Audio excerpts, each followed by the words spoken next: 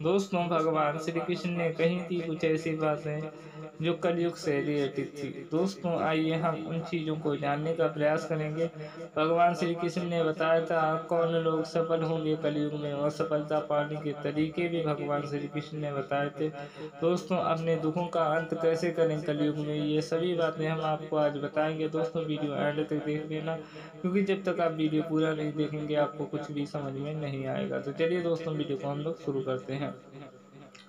दोस्तों कलयुग जब से शुरू हुआ है अधर्म अपनी चरम की ओर जा रहा है। प्रति समय समय के अनुसार, बढ़ते समय के साथ कलयुग का प्रभाव भी धरती पर बढ़ता जा रहा है। जहाँ अच्छाई और का जयकारा हुआ करते थे, वहाँ धीरे ही धीरे बुराई अपना विस्तार करती जा रही है।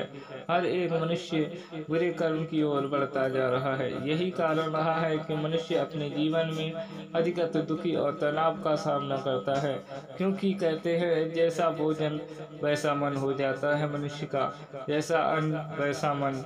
अर्थात आजकल युग में मनुष्य अच्छा भोजन की, शुद्धता भोजन की बजाय नकरमुक्त भोजन का सेवन करते हैं। एक कारण ये रहता है जिससे मनुष्य ज़्यादा दुखी और तनाव में रहते हैं और वह अक्सर बुरी चीज़ों की ओर आकर्षित ज़्यादा होते हैं। दोस्तों, हमारे जीवन में किए गए कर्म हमें अच्छा और बुरा फल प्रदान करते हैं। जब हम बुरे कर्म करते चले जाते हैं तो हमारा जीवन नर की ओर हो जाता है।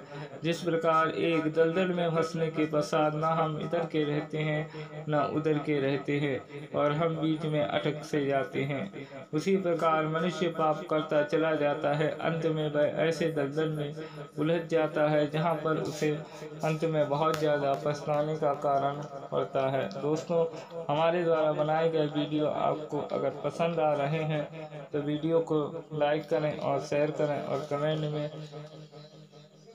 जय श्री राधे जय श्री श्याम ज़रूर लिखें।